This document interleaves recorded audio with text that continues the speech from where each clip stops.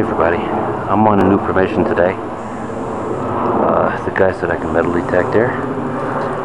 He said he doesn't know what I'm going to find because he's hit this place with his um, Garrett for years.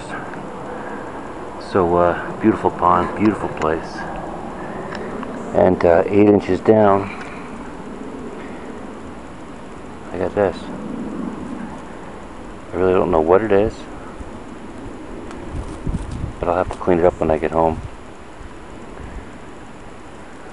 Might not be anything. Might be something. I don't know. But we'll see. On to the next. Yeah, four inches down. I got this. Don't know what it is. It's old. It's all rotted out. A little crusty.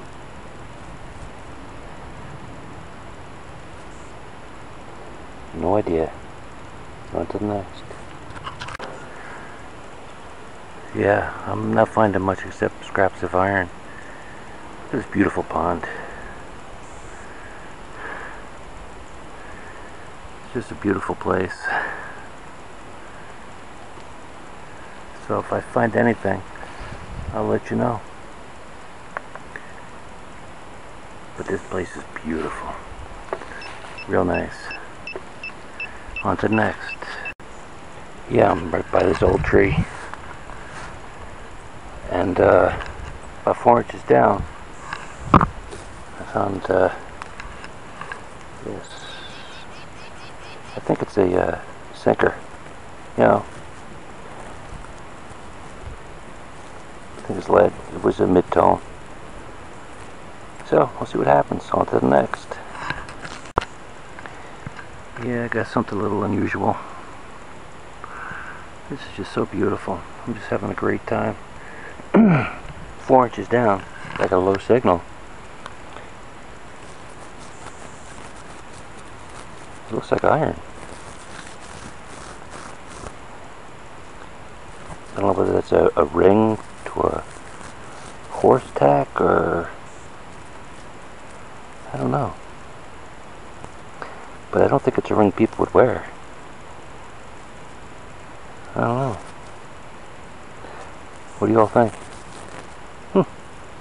Pretty cool though. To the next. Yeah, I got a high tone four inches down. And I got this, I found, see this bottle. Unfortunately, I didn't bring my uh, spade, my little uh, digger with me. Only got the spade. Damn. I'm gonna try to get it out without breaking it. So if I can, I'll show it to you. Yeah. It's a nice Coke bottle. It's from Conyers. That's where I live, Conyers, Georgia. I don't know what uh, year it is. That's pretty cool. If that water was a little higher, I would have uh, tried to wash it off. But forward in. see.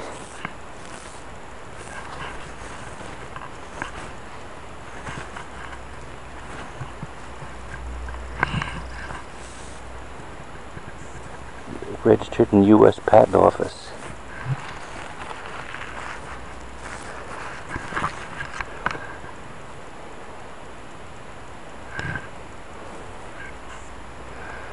I don't know.